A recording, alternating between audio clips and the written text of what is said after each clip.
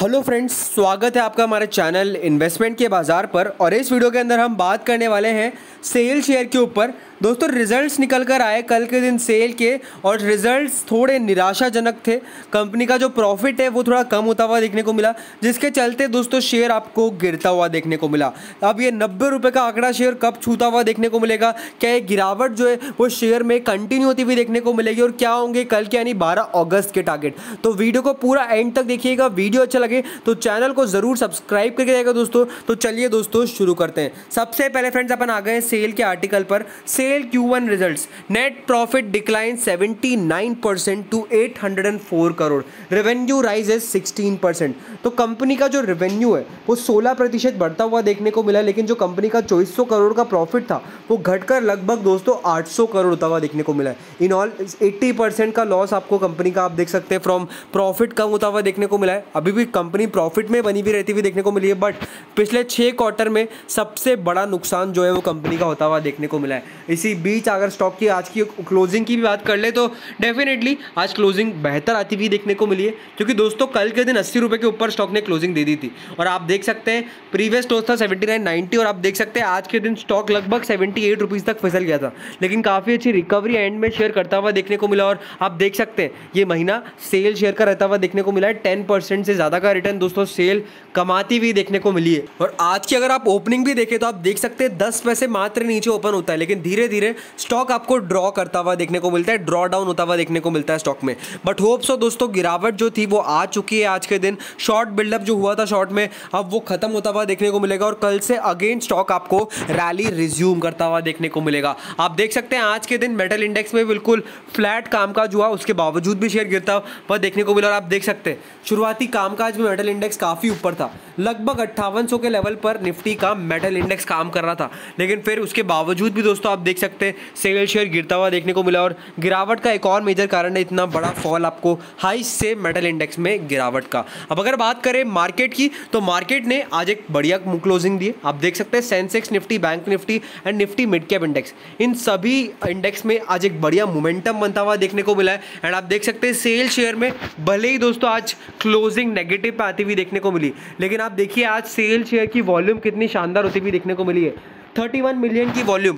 कल से लगभग 10 मिलियन की वॉल्यूम ज़्यादा स्टॉक में आती हुई देखने को मिली है। और आप देख सकते हैं, जब भी स्टॉक गिरता है तो वॉल्यूम बढ़ती है, यानी कि लोगों का पार्टिसिपेशन बढ़ता है। लोग डिप में खरीदने के लिए स्टॉक को तैयार है, क्योंकि मोमेंटम काफ़ी ज़्यादा है। आज 78 हुआ है, आने वाले एक हफ़्ते बाद 85 90 भी हो सकता है शेयर, क्योंकि जिस हिसाब से इस स्टॉक में मोमेंटम है तगड़ा। एंड अगर अपन बात करें आज की क्लोजिंग की तो मिड रेंज में शेयर क्लोजिंग देने में कामयाब रहता हुआ देखने को मिला है। और आप देख सकते हैं बावन हफ्तों की रेंज लगभग सिक्सटी थ्री रुपीज़ का फिफ्टी टू वीक लो है and one thirty seven rupees का फिफ्टी टू वीक हाई है। स्टॉक अभी काफ़ी नीचे ट्रेड कर रहा है, आप देख सकते हैं। लगभग सिक्सटी परसेंट से ज़्यादा का करेक्शन दोस्तों स्टॉक में आ चुका है। From its fifty two week high तो आप देख सकते हैं करेक्शन है। तो इस करेक्शन में बाइंग ज़रूर करनी चाहिए और यहाँ से थर्टी परसेंट तो आपको मिनिमम ये इस साल के अंदर अंदर स्टॉक आपको रिकवर होता हुआ देखने को मिलेगा और होप्स आपके जो भाव है वो शेयर में ज़रूर आते हुए देखने को मिलेंगे। अगर अपन बात करें डिलीवरी एंड वॉल्यूम एनालिसिस की भी तो आप देख सकते हैं तीन करोड़ की आज के दिन डिलीवरी वॉल्यूम आती हुई देखने को मिली है और कल के दिन जो डिलीवरी थी, वो लगभग थर्टी परसेंट की थी। तो डिलीवरी बढ़ती हुई देखने को मिल रही है। काफ़ी बढ़िया पॉजिटिव साइन है. एंड आप देख सकते हैं कंपनी के मैं रिजल्ट्स के चार्ट्स पर भी आ गया हूँ. आप देख सकते हैं जून क्वार्टर में थर्टी एट हंड्रेड का करोड़ का प्रॉफिट उसके बाद सितंबर क्वार्टर में 4200 करोड़ का प्रॉफिट और फिर जो कंपनी की हालत ख़राब होती है लॉस कंपनी आप देख सकते हैं प्रॉफिट से सीधे चार हज़ार करोड़ के प्रॉफिट से सीधे एक हज़ार करोड़ के प्रॉफिट पर आ जाती है।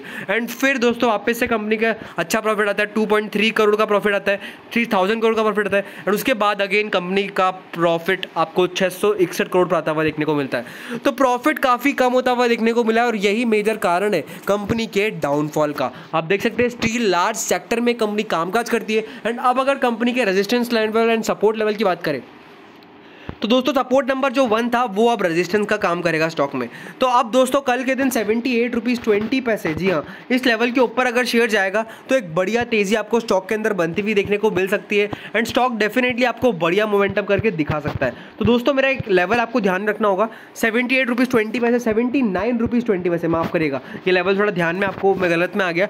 सेवेंटी नाइन रुपीज़ ट्वेंटी पैसे के ऊपर शेयर अगर जाता है तो एक बढ़िया मोमेंटम बन सकता है। आज की closing seventy eight rupees eighty five paise पर है तो ये seventy eight eight rupees twenty paise जो है वो अब स्टॉक के सपोर्ट का काम करेगा रेजिस्टेंस वाइड अगर बात करें तो eighty one rupees eighty three rupees ये दोनों रेजिस्टेंस आएँगे और होप सो कल के दिन आई थिंक सो मार्केट फिर से आपको तेज़ी करते हुए देखने को मिल सकते हैं। और मुझे लगता है कि कल के दिन जो मेटल इंडेक्स है, वो आपको आउट परफॉर्म करके दिखाने वाला है और एट्टी थ्री रुपीज़ तक का लेवल मुझे लगता है कल के दिन आपको सेल शेयर में आता हुआ देखने को मिल सकता है। और एक नेगेटिव खबर और निकल कर आई है, जो रिज़ल्ट के बाद निकल कर आई है कि mutual funds F I Is D I Is सबकी जो हिस्सेदारी है, वो स्टॉक में कम होती हुई देखने को मिली है। आप देख सकते हैं म्यूचुअल फंड्स ने 1.08 परसेंट तक अपनी हिस्सेदारी घटाई है। एफ़ आई आईज ने 0.36 परसेंट से अपनी हिस्सेदारी घटाई है। तो सबकी हिस्सेदारी घटाना ये एक पॉजिटिव सिग्नल स्टॉक में नहीं है। तो चलिए दोस्तों, अब स्टॉक के चार्ट पर चलते हैं और अब कल के और आने वाले एक से दो हफ्तों के टारगेट्स पर चर्चा करते हैं। तो फ्रेंड्स अपन स्टॉक के चार्ट्स पर आ गए सबसे पहले मैंने सिक्स मंथ्स का चार्ट खोला है, क्योंकि सिक्स मंथ्स पे कंपनी की आपको स्थिति नज़र आ रही है। आप देख सकते हैं, लगभग share one hundred and ten rupees के लेवल पर था अप्रैल महीने में। और फिर खबर आती है एंटी डंपिंग ड्यूटी लगने की।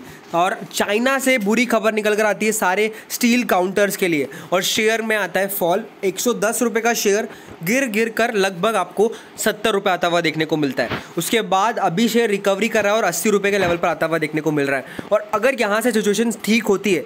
तो रिकवरी तो शेयर करके दिखाएगा। और वो रिकवरी एक वी शेप की रिकवरी होगी। उसमें शेयर आपको definitely hundred and ten rupees तक का लेवल दिखा सकता है। उसमें कंपनी का क्वार्टरली रिज़ल्ट का बड़ा हाथ होगा। अभी जैसे कंपनी ने सिक्स सिक्सटी वन करोड़ का एट फोर्टी करोड़ का प्रॉफिट जनरेट किया है, वो अगर बढ़कर आने वाले क्वार्टर्स में दो हज़ार से तीन हज़ार करोड़ तक भी होता है देन स्टॉक का भाव मिनिमम मुझे लगता है कि सौ रुपये तक जाता हुआ देखने को मिलेगा। क्योंकि खबरों का इम्पैक्ट जो है, वो स्टील काउंटर सेल में काफ़ी पड़ता हुआ देखने को मिलता है। अगर तीन महीनों के चार्ट्स पर भी चले तो तीन महीने के चार्ट्स पर एक अच्छी तेज़ी आपको देखने को मिली है। लोस से लगभग पैंसठ रुपये का शेयर अस्सी रुपये होता हुआ देखने को मिला है। लगभग तीन महीने में शेयर आपको ट्वेंटी परसेंट के पॉजिटिव रिटर्न कमाकर देता हुआ देखने को मिला और होप सो अगर यहाँ से आपको शेयर एट्टी फाइव से नाइन्टी रुपीज़ के भी रेंज में आता हुआ देखने को मिलेगा तो बढ़िया मोमेंटम आपको बंदा हुआ देखने को मिलेगा स्टॉक के अंदर। तो अब मैं बात करूँगा दोस्तों आने वाले दो हफ्तों के लेवल की।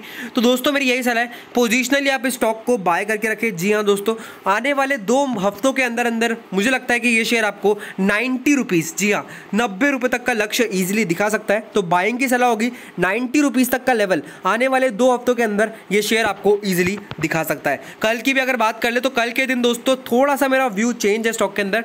तो मेरी यही सलाह है कि कल के दिन अगर ये शेयर आपको सेवेंटी नाइन रुपीज़ ट्वेंटी पैसे के ऊपर मिलता हुआ देखने को मिले तो ज़रूर इसको बाय करके चले। और कल के दिन जो मेरा टारगेट होगा, पहला टारगेट होगा 81 का, दूसरा टारगेट होगा 82 का और तीसरा टारगेट होगा 83 का। तो 83 रुपीज़ तक के टारगेट के लिए सेल शेयर में आपको खरीदारी करके चलना है और बढ़िया मोमेंटम आपको कल के दिन स्टॉक में देखने को मिल जाएगा। शॉर्ट कवरिंग ज़रूर आपको स्टॉक में आती हुई देखने को मिल जाएगी।